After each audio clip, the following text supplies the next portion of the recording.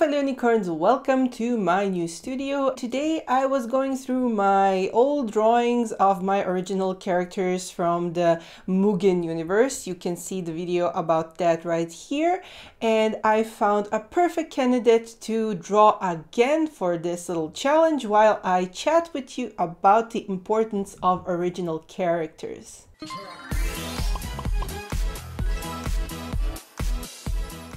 Just a quick update, you will be able to see the 2D version of myself helping you out in my next lessons. In today's video I'm going to use this old drawing and redraw it as a new character, well a new form of the same character. And this is a 10 year old character I drew in 2008 and this has just blew me away when I calculated how many years has passed since I actually started drawing manga. And this is my first ever, of course, it, today it looks like a complete failure, but I'm not going to regret or like make um, pretend that I never drew like this because it would be ridiculous. And don't hide your old works. Use them as a badge of honor. Use them as something that you will be proud of one day when you see how much you improved and how much your style changes through the years. You don't have to have one style. You can have many different styles, but the important thing is to be happy with your progress. Um, the reason why my old work looks as it does is because I drew this when I had no idea what manga was. I was just starting off as somebody who was in love with manga, but I lived in a world without internet or manga comics available anywhere, so I had to scrunch up any knowledge of manga and anime I could from borrowing CDs, um, borrowing scanned manga and everything like that there was such a low level of any sort of a reference I could use. So this is one of the reasons why I didn't understand anything about the manga aesthetics and how to draw it. We didn't have any sort of a manga drawing books in my country or anything like that. So I literally started out from zero 10 years ago. And I was fresh out of fashion school so I had no idea on proper line art on on proper anatomy regarding manga. Um, at fashion school, I was taught that uh, proper anatomy had elongated uh, limbs and uh, proper human anatomy. I didn't realize that in manga, mostly character had like six head uh, height and uh, they were actually a combination of a cutesy doll-like face with uh, six uh, head tall body, which is, when you look at the reason why, completely logical, but at the time I didn't know that the general anatomy of a Japanese person was influenced to create this style, since in my neck of the woods we are all pretty tall people, so I kept drawing tall people as the result, and inadvertently we all draw parts of our own anatomy in our own artwork. Uh, you need to go and study for a long time uh, on the topic of manga. You need to look at a lot of references and a lot of resources and realize why certain things on manga characters look the way they do.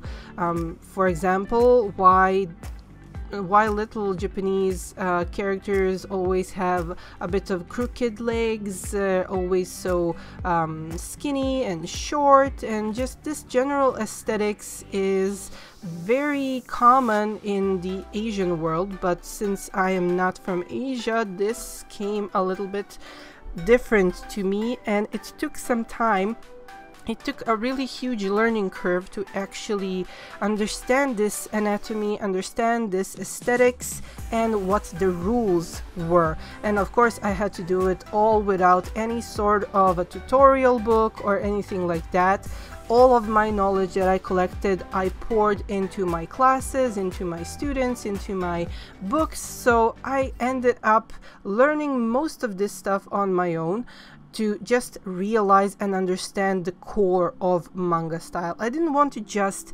trace over existing manga drawings. I wanted to understand what makes manga style a manga style. Why the shapes are the way they are, why the fashion looks the way it does, why the anatomy is what it is. And I managed to find all of the answers I was looking for.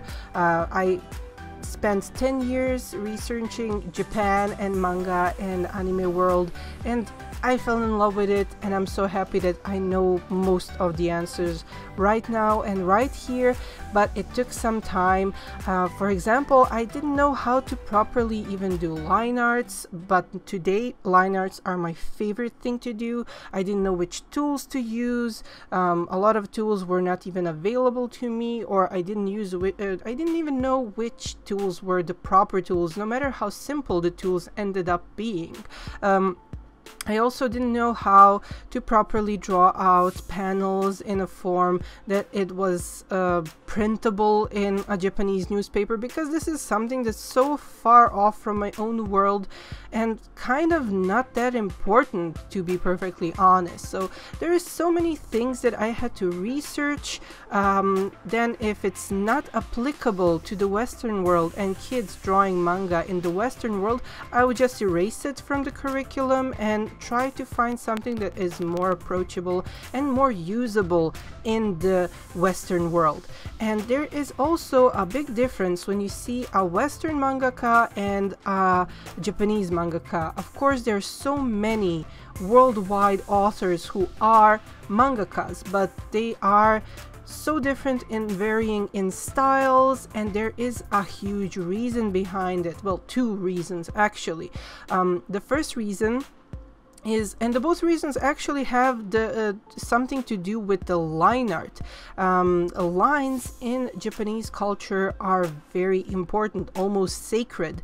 Uh, lines in japanese culture are used to emphasize the beauty of calligraphy the beauty of the drawings. So lines are extremely important in their culture. That's why they always practice a lot of calligraphy and they have it in their very own uh, everyday writing. So that's something that we here in the western world don't really practice that much. That's why their um, line work is so different from our own. The second reason why their line work is so different from our own is because they write from right to left while in the western world we write from left to right. And the way we write defines the way we look at things defines the way paintings are made, defines the way we have an aesthetics because a Japanese person will look at a drawing or a painting from right to left instinctively, as well as we from the Western world, we will go and see artwork from left to right. And sometimes we will get confused why certain objects in the drawings are not in the place where we would expect them to be. And this is something that we don't mind, especially with art, because it's surprising us in, in a sort of a way, while this same drawing is completely normal thing in the Asian world, in Japanese uh, viewers' eyes. So this is definitely the two main points that create such a confusion when a Western person wants to try to draw manga. Some people have it easier to figure out the line work, some people uh, have it way harder. For example, in manga aesthetics, there is no such thing as a pretty line that is ending in a pointy tip. Like when you swish or flick the line and make it just end up with that beautiful pointy tip. It's something that in Japanese culture is considered unfinished. A beautiful line in manga is actually finished by pulling a line uh, with your pencil and then just stopping your arm, stopping your hand, so that the line is almost finished in a dot of a sort. These like imagine how many lines a drawing has and imagine how many lines you have put in your artwork that are ending with a beautiful pointy tip and somehow you will realize that your drawing is inspired by manga but doesn't really look exactly like it these types of lines and these types of culture differences are the reason why. But it doesn't make your manga any less of a manga. Even though that japanese people like to claim that manga is their own um, unique product and calling other countries manga a different name it's all manga. It's all inspired by manga and it shouldn't be divided into subclasses if you ask me personally.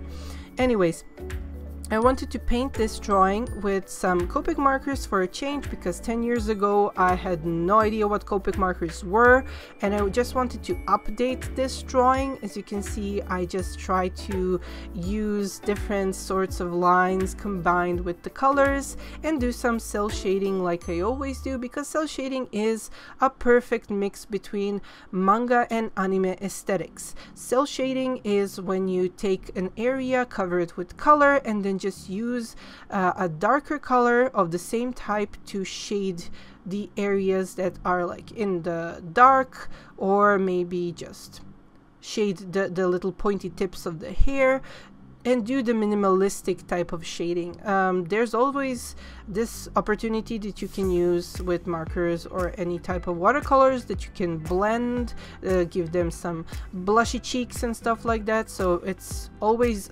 preferred if you could like upgrade the um, cel shading with some blending as well. And of course in the end you can use the white gel pen or any type of white paint but anyways let's get back to the main part of the story of this video. Um, so yeah I realized during this past 10 years that my art style has evolved immensely. I figured out the answers to what is manga how to achieve this look how to achieve this aesthetic or be actually not even like how to achieve it completely to mimic Japanese art, don't get me wrong. I just wanted to achieve it in a way that I am happy with it, and that's perfectly fine.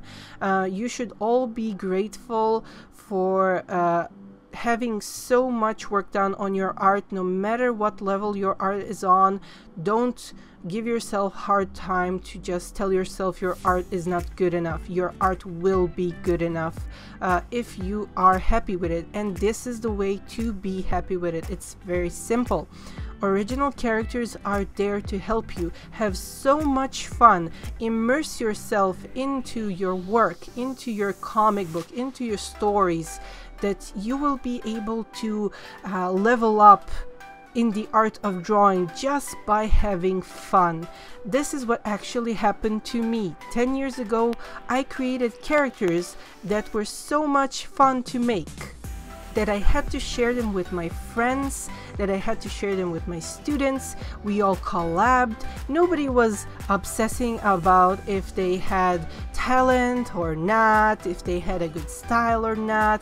No, we all had fun. We would sit around the classroom, brainstorm, and think of the stories we wanted to create little comics about, whether it's like a romantic story, a funny story. Uh, sometimes people would challenge each other's characters to a duel and then ending it up with a food fight or something ridiculous like that.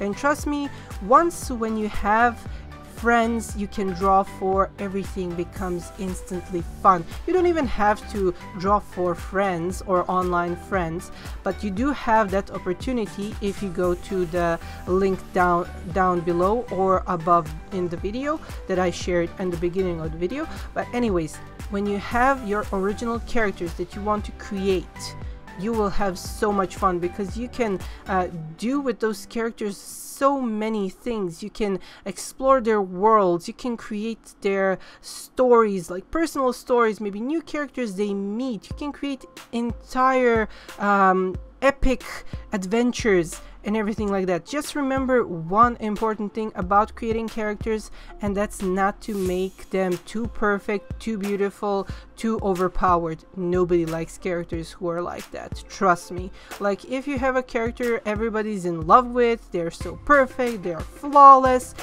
those kinds of characters get boring real fast.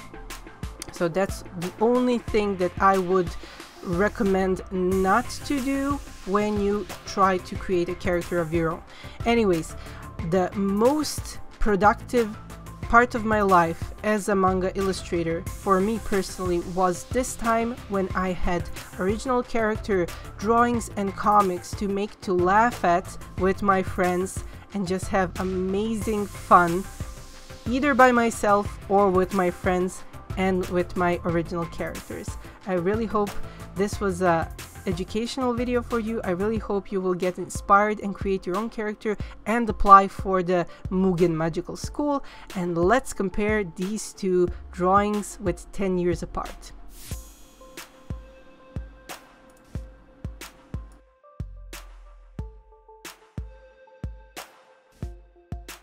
I hope you guys enjoyed the video and if you would like to learn how to draw manga, please check out my book Manga Crash Course available in 4 different languages as well as my latest book Manga Crash Course Fantasy.